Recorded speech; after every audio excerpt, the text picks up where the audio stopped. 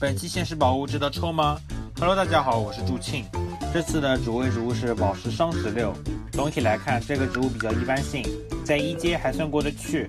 本身能力大致来看，约等于能攻击多行的阿开木木。总体来看比较一般性，而且由于高阶植物攻击力都有不错的提升，所以本身出手速度一般，攻击力在高阶植物中算比较低的。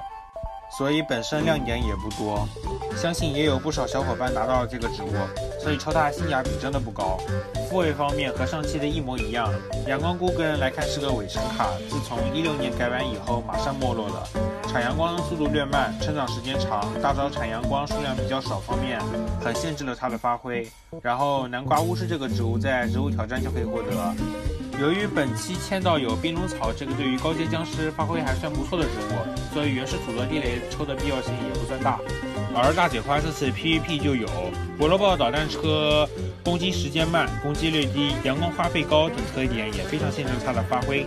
总结，如果自己是收藏党的话，倒是可以去抽一下，其他情况都不建议去抽，毕竟这次现实宝物抽的性价比真的很低。希望本期视频能够对你有所帮助。我是朱庆，我们下期再见，拜拜。